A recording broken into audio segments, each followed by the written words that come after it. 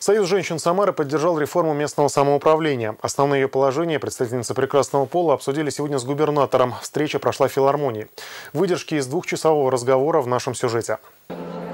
Власть – это прежде всего ответственность перед людьми, и вернуть доверие граждан – одна из ключевых задач реформы местного самоуправления в Самаре. Поэтому, по словам губернатора, так важно максимальное участие горожан в предстоящем избирательном процессе. Свою власть э, будет, будут люди избирать, самую близкую. Как можно больше людей, чтобы пришло туда. Чтобы потом эти пришедшие могли потом участвовать в тех инициативах совместных, которые власть будет инициировать.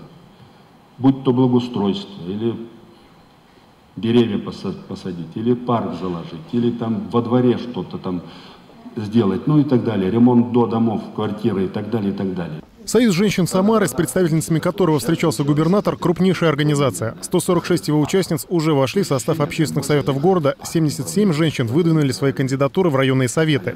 О проблемах своих территорий знают не понаслышке. В зале работники ТОСов, учителя, общественные активисты. Чтобы навести порядок в, этом, э, в этой сфере, сегодня я считаю правильным, что губернатор Самарской области Николай Иванович Меркушкин – предложил кардинально пересмотреть всю систему управления городом. Я поддерживаю вашу инициативу, Николай Иванович, проведение реформы самоуправления. Я поддерживаю создание именно новой команды для управления городом, создание общественных советов в каждом микрорайоне – мы на правильном пути. Губернатор подчеркнул, к предстоящим выборам сейчас приковано внимание всей страны. Самара пока единственный город в России, где создается принципиально новая система управления. Мы на самом деле сделали вот эту схему, которая сейчас определена, сделали ее совершенной.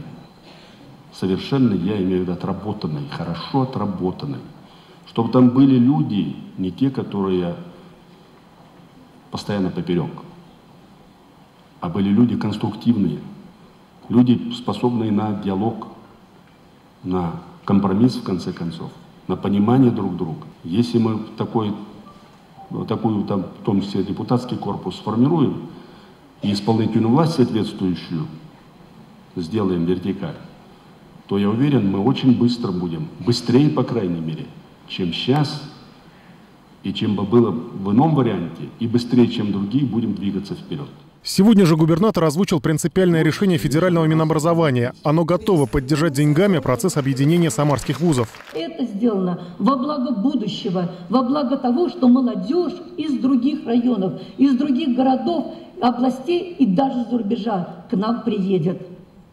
Я считаю, это стопроцентным правильным шагом. Встреча в филармонии длилась два часа. Союз женщин подготовил ряд конкретных предложений по реформе и выразил полную готовность стать участниками губернаторской команды созидания. Женские общественные организации поддерживают Николай Иванович Меркушкин вашу реформу местного самоуправления в Самаре и призывают всех жителей городского округа Самара принять самое активное участие в выборах 13 сентября 2015 года и помочь сформировать в городе новую команду, новую созидательную власть, работающую от имени народа и для народа.